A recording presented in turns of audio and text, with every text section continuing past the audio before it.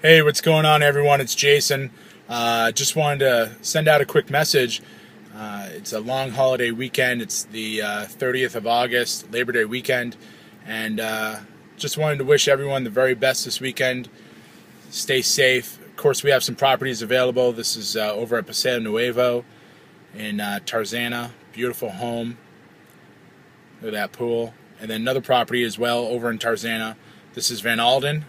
Beautiful home, great kitchen, five bedrooms, amazing pool. Any questions or anything, there's our information. Uh, reach out to me, give me a call, or shoot me an email.